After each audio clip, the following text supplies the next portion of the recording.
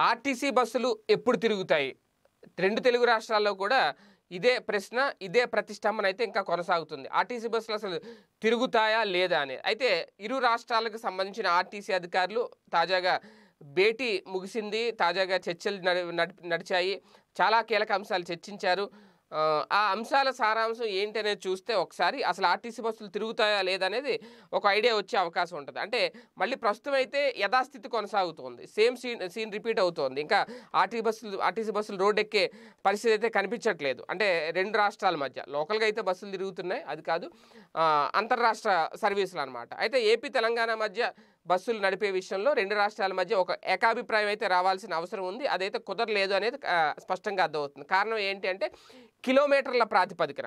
అంటే కిలోమీటర్ ప్రాతిపదికన నడపాలి అని చెప్పి ఆంధ్రప్రదేశ్ ప్రతిపాదించింది రూట్ వైజ్ ప్రాతిపదికన నడపాలి అని చెప్పి తెలంగాణ అధికారులు ప్రతిపాదించారు. అలాగైతే మాకు సాధ్యం కాదు ఇలాగైతే మాకు కూడా సాధ్యం కాదు అని చెప్పి అర్ధాంతరంగా చర్చలు అయితే ముగిసిపోయినాయి. అంటే ఇక్కడ ఏంటంటే మాట మాట కలవలేదు.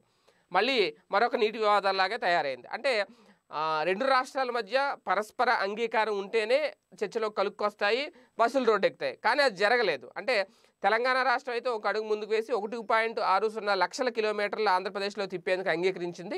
అయితే ఆంధ్రప్రదేశ్ మాత్రం తెలంగాణలో రెండు లక్షలు తక్కువ కాకుండా చూసుకుంటాము అని చెప్పి చెప్తూ వస్తుంది. అంటే రెండు లక్షల కిలోమీటర్లు తక్కువ కాకుండా చూసుకుంటాను. అంటే లాక్డౌన్కు ముందు ఏపీ అలాగే తెలంగాణ ఆర్టీసీ బస్సులు తిరుగుతున్నాయి. ఏపీలో తెలంగాణ ఆర్టీసీ బస్సులు తిరుగుతున్నాయి. ఒకటి పాయింట్ ఆరు ఒక్క లక్షల కిలోమీటర్లకు సమంగా ఏపీ ఆర్టీసీ బస్సులు కూడా తెలంగాణ ప్రాంతంలో తిప్పే విధంగా షెడ్యూల్ను మార్చుకోవాల్సిందే అనేది ఆర్టీసీ అధికారులు తేల్చి చెప్పేశారు కాకపోతే ఏపీ ఆర్టీసీ అధికారులు చెప్తున్నది ఖచ్చితంగా రెండు లక్షల కిలోమీటర్లు తిరుగుతాం అనేది. అయితే ఇది ఇక్కడే రెండు రాష్ట్రాల మధ్య సఖ్యత రావట్లేదు. ఇరు రాష్ట్ర ప్రాంతాల అధికారుల మధ్య అంతర్రాష్ట్ర సర్వీసులు పునరుద్ధరణకు సంబంధించి అందరూ ఎదురు చూస్తున్నారు ఎందుకంటే ఒక పక్క పండగల సీజన్ వచ్చేస్తుంది దసరా వచ్చేస్తుంది. దసరాకైనా ఆర్టీసీ బస్సులు నడుస్తాయా లేదని అది రాకపోతే కనుక ప్రైవేట్ ట్రావెల్స్ దోపిడీ పెరిగిపోద్ది.